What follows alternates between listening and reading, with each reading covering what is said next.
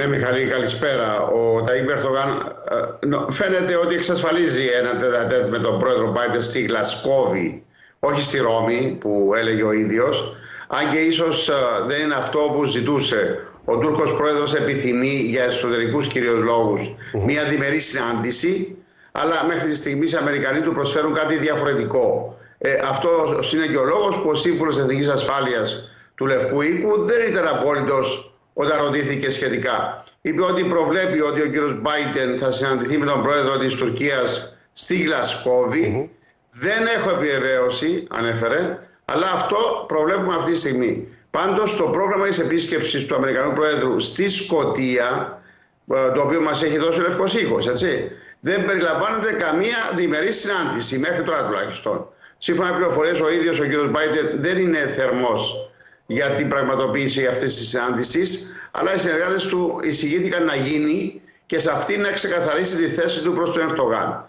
Και για την αντιδυτική στάση του, αλλά και για το καθεστώς των ανθρωπίνων δικαιωμάτων και των θρησκευτικών ελευθεριών. Στο σημείο αυτό να πούμε ότι στη συνάντηση με τον Οικουμενικό Πατριάρχη, τον κύριο Βαρθολομαίο, ο Αμερικανός Πρόεδρος ήταν πολύ υποστηρικτικός στο φανάρι και έδωσε στο συνομιλητή του να καταλάβει ότι είναι απόφασή του να προστατεύσει το Οικουμενικό Πατριαρχείο. Προκαλεί όμως εντύπωση το γεγονός, ε, για να πάμε πίσω στο θέμα της ε, συνάντησης, ότι ο σύμβουλος Εθνικής Ασφάλειας του Λευκού Οίκου δεν είναι απόλυτος για αυτό το τέτα τέτ. Και αυτό επειδή είναι ο πλέον αρμόδιος για να γνωρίζει Μιχάλη. Είναι αυτός που κανονίζει το πρόγραμμα του Προέδρου.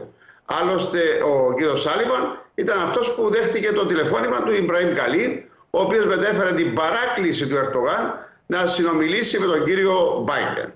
Ο κύριος Σάλιβαν μίλησε και για το αίτημα του Ερτογάν να αγοράσει 40 μαχητικά F-16, καθώς ο δημοσιογράφος που το ρώτησε έθεσε το θέμα της διαλειτουργικότητας με ρωσικά συστήματα που κατέχει η Άγκυρα. Ε, και αυτός με τη σειρά του αναφέρθηκε στην αγκύρωση της αγοράς των F-35 και στο γεγονός ότι η Τουρκία δεν συμμετέχει πλέον στο πρόγραμμα παραγωγής των Αμερικανικών μαχητικών είναι ο τέταρτος αξιωματούχος, δεν κάνω λάθος, Μιχάλη, που μιλάει για αυτό το γεγονός. Ε, μίλησε λοιπόν για τα F-16. Υπάρχει, είπε, μια διαδικασία που έχει τεθεί σε εφαρμογή εδώ και πολλά χρόνια για τον τρόπο με τον οποίο οι χώρες προχωρούν στην υποβολή ετοιμάτων για αγορά μαχητικών αεροσκαφών. Η Τουρκία είπε βρίσκεται σε αυτή τη διαδικασία και αυτή η διαδικασία θα συνεχιστεί. Και δεν έχω να προσθέσω τίποτα περισσότερο σε αυτό το θέμα. Απάντησε ενοχλημένος από την πληροφορούμαστε.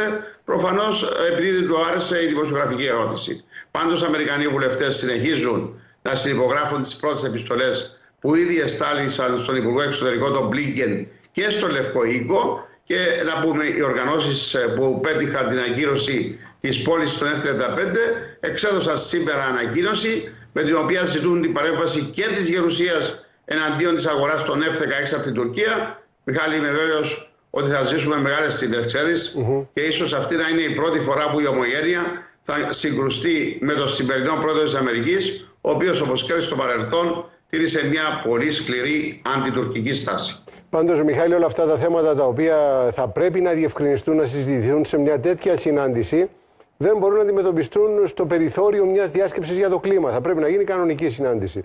Ε, ε, η αλήθεια είναι ότι έχεις ε, δίκιο, αλλά οι Αμερικανοί έχουν και έναν τρόπο μερικές φορές να κοντένουν, mm σε εισαγωγικά λέξη, ε, ξένους ηγέτες, τους οποίους θέλουν να επαναφέρουν στην τάξη. Η αλήθεια είναι ότι, παρά το γεγονός ότι θέλουν να τα βρούμε στην Τουρκία, είναι πάρα πολύ ενοχλημένοι, Μιχάλη, πάρα πολύ ενοχλημένοι με τη στάση του Ερτογάν.